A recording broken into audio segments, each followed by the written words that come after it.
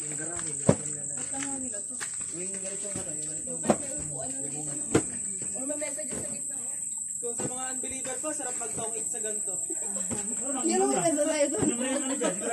Madyong.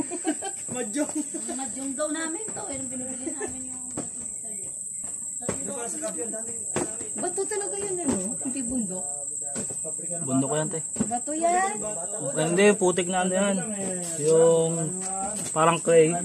Ganyan yun. Yan sa Magic Temple.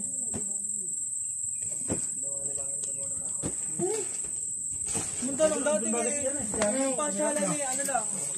Sunbathing tayo dito. panangili lang. Samantalang dati yung pasyalan yung ano lang, yung bit-bit bridge lang. Sa totoo lang sila kakaanak. Sabihan ka na ako?